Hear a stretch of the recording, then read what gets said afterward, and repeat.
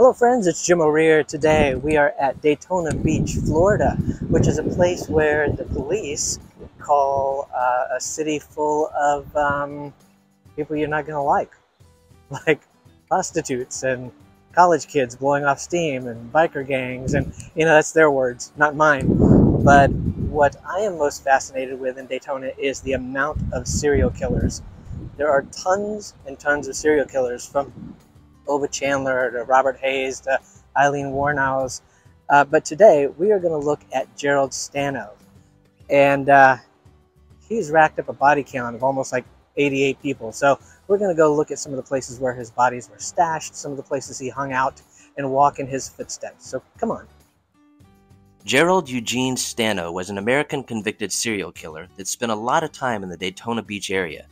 Stano murdered at least 22 young women and girls, confessed to 41 murders, and the police say the number of his victims may be closer to 88. Stano was born as Paul Zeininger on September 12, 1951, in New York, the fifth child born to his mother, and the third she put up for adoption. His biological mother neglected him to such an extent that when she gave him up for adoption at six months old, county doctors declared that he could not be adopted. They said he was functioning at an animalistic level, even eating his own feces to survive. Stano had four biological siblings who were given up for adoption. A nurse named Norma Stano eventually adopted him and legally changed his name. Despite his foster parents being described as loving, Stano continued to have behavioral problems. In school, he earned C's and D's in all subjects except music, at which he excelled. He lied compulsively and was once caught stealing money from his father's wallet to pay members of the track and field team to finish behind him so he would not be viewed as a complete failure. During his youth, Stano was often bullied. At the age of 14, he was arrested for a false fire alarm and later for throwing rocks at cars from a highway bridge. Stano did not graduate high school until he was 21. After receiving his diploma, he enrolled in a computer school, graduated, and began working in a local hospital. Soon after, he was fired for stealing from coworkers. After moving to Ormond Beach, he was fired from one job after another for either theft or tardiness. Stano was arrested on March 25, 1980, after attacking a woman named Donna Hensley who escaped a hotel room and contacted authorities. Hensley told police that she was a prostitute and had been approached by a man requesting her services. Once at her motel room, the two began to argue, and the man ended up stabbing her 30 times with a knife before insulting her and fleeing.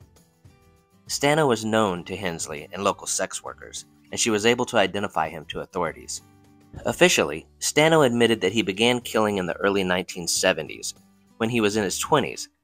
However, he also claimed to have begun killing in the late 1960s at the age of 18. Several girls had gone missing in Stano's area of residence at the time, but insufficient physical evidence was found when these claims were investigated almost 20 years later, and Stano was never charged. He was most active in Florida and New Jersey. Stano admitted to committing the first murder in New Jersey in 1969. He also confessed to having killed six other women in Pennsylvania. After moving to Florida, he may have murdered 30 or more women. Most of Stano's victims were women in vulnerable circumstances all except two were Caucasian, and most of his known victims were between the ages of 16 and 25. By his 29th birthday, Stano was in prison for allegedly murdering 41 women. He was housed with fellow serial killer Ted Bundy until the latter's execution in 1989. Stano admitted to several murders across Florida from 1973 to 1980. Kathy Scharf, age 17, was a hitchhiker from Port Orange, Florida, whose body was found here by hunters at the Merritt Island National Wildlife Refuge. Susan Basile was 12 years old when she was last seen in Port Orange, Florida, and according to Stano's confession, he had picked her up from school and enticed her with a ride here to Skate City, which uh, no longer exists. It is now a classic car showroom.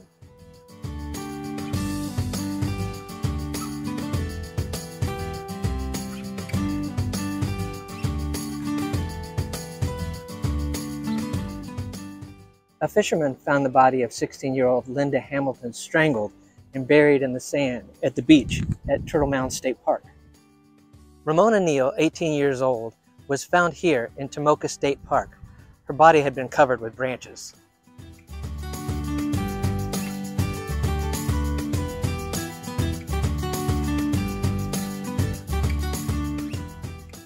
Mary Maher, age 20, was abducted from the Daytona Beach boardwalk, right back there, and stabbed to death.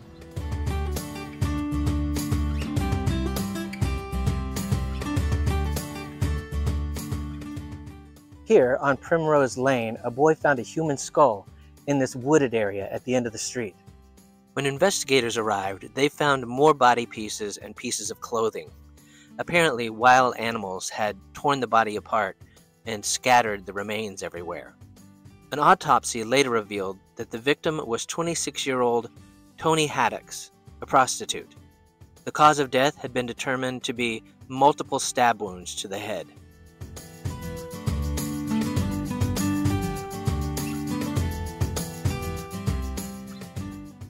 With potentially 88 victims, the list could go on and on, but the bodies of victims who had been stabbed, strangled, sexually assaulted, shot, and dumped across the area was massive. Stano was found guilty of nine murders and received eight life sentences and one death sentence, the latter of which was carried out by electric chair on March 23, 1998, in Florida State Prison. Stano's final statement proclaimed innocence and directed blame for his false confessions at the lead investigator Paul Crow, he stated, I am innocent, I am frightened, I was threatened, and I was held month after month without any real legal representation. I confess to crimes I did not commit. So yeah, right there to the end, uh, then Stano decided he wanted to say that he confessed to murders that he didn't commit, but too late by that point. So I hope that's given you a glimpse into Gerald Stano. Uh, you know, hung out a lot here in the Daytona Beach area and uh, has given you a look at some of the locations and what they look like today. So I hope you've enjoyed watching this video. If you have, click that like button to let the powers that be know that you like the video. And while you're at it, click on follow or subscribe and you'll be notified when I upload new videos. Thanks again for watching. We'll see you next time.